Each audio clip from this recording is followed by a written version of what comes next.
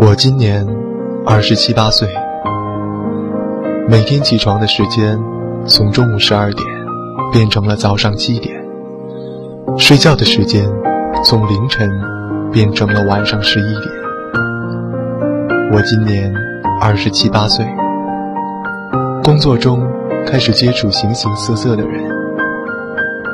我今年二十七八岁，见到亲戚朋友。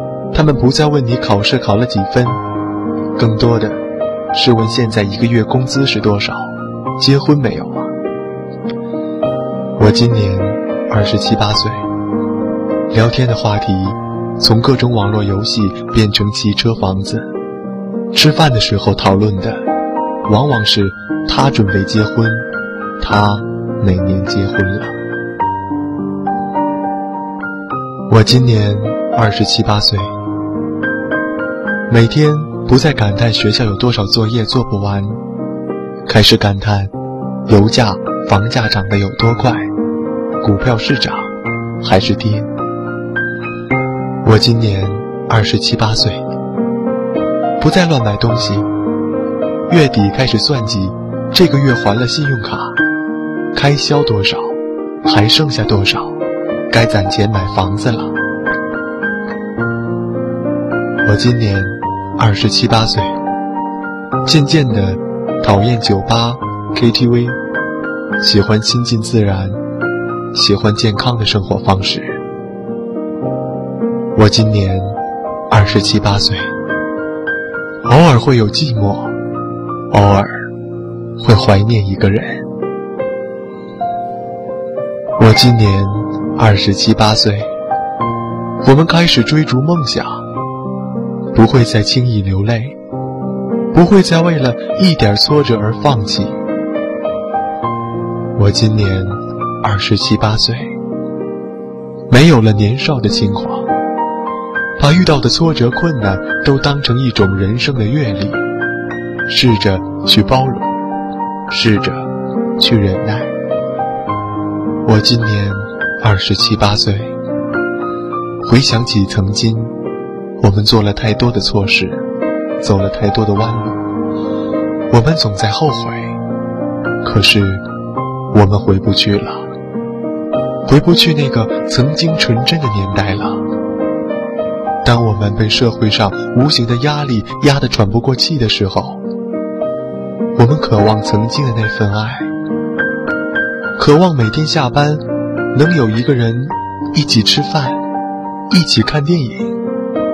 我们需要一个人来为我们分担一些东西。我们在一条伟大的航路上，我们需要有人为我们鼓劲儿。也许我们偶尔累到想放弃，可是当我们想到身边还有一个让我们牵挂的人，深吸一口气，继续向前走，我相信总有一个能够停靠的彼岸。今年我们二十七八岁，孤单时，我们没有去网吧，我们用手机隐身上 QQ，看看谁在线呢？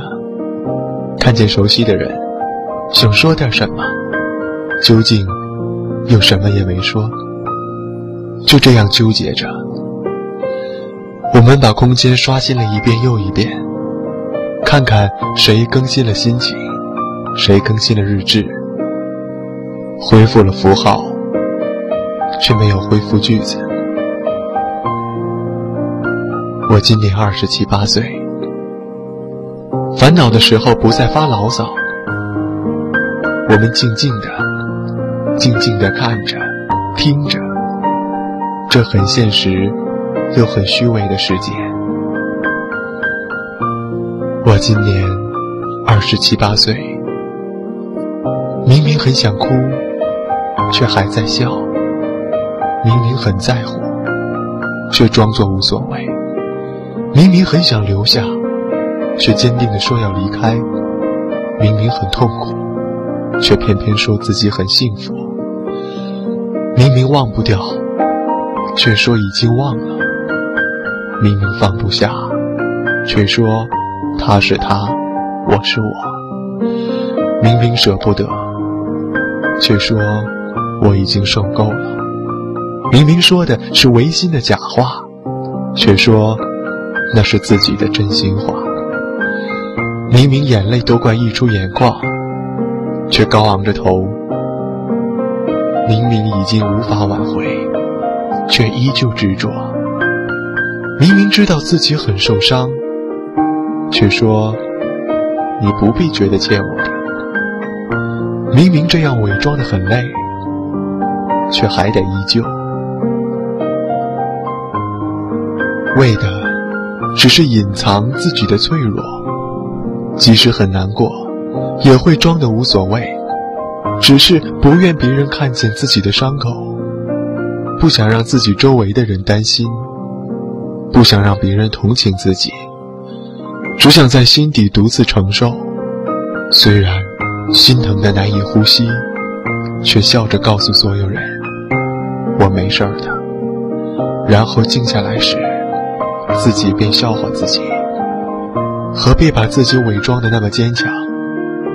好像自己可以承受所有苦难。”这好累，好累。